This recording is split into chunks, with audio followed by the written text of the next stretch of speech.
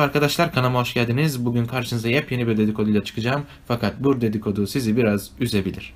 Üzülme. Üzülenler üzülenleri üzülmeseler üzülüp üzülmeseler üzülenler üzülüp üzüm üzülme. Ne? Günümüzde süper kahraman filmlerinin beyaz perdeyi nasıl domine ettiğini hepimiz şahit oluyoruz. Zamanda birer ikişer çıksalar da artık sinemanın vazgeçilmezler arasına girdiler.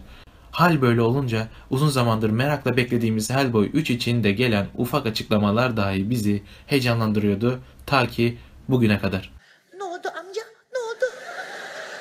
2004 yılında ilk filmiyle karşımıza çıkan ve 2008 yılında Golden Army ile ikinci filmiyle gösterime giren Hellboy serisi için üzücü bir haber geldi. Filmin yönetmeni olan Guillermo del Toro kendi Twitter hesabından yaptığı açıklamada kalan son umut parçalarını da yok etti. Bu açıklamayı yaptığı için üzgün olduğunu ve konuyla ilgili herkesle konuştuğunu belirten Del Toro, devam filmi %100 gelmeyecek. Bu konuda söyleyeceğim son söz bu sözlerini sarf etti.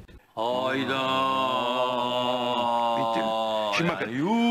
Bir süredir film için stüdyo arayışında olan yönetmen anlaşılan bu çabasından herhangi bir sonuç alamamış. Açıkçası hem Del Toro hem de Roll Perlman bu kadar hevesliyken 3. filmin gelmeyecek olması serinin hayranlığı olarak beni de üzmüş oldu.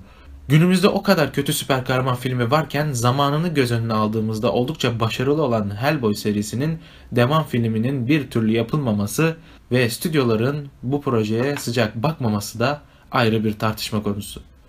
Peki siz ne düşünüyorsunuz? Hellboy 3 gelmeli miydi? Yapılmalı mıydı? Güzel olur muydu? Videomu izlediğiniz için teşekkür ederim arkadaşlar. Eğer videoyu beğendiyseniz yorum yapmayı ve beğenmeyi unutmayın. Ayrıca kanalıma abone olursanız beni çok mutlu edersiniz. Teşekkür ediyorum. İyi günler.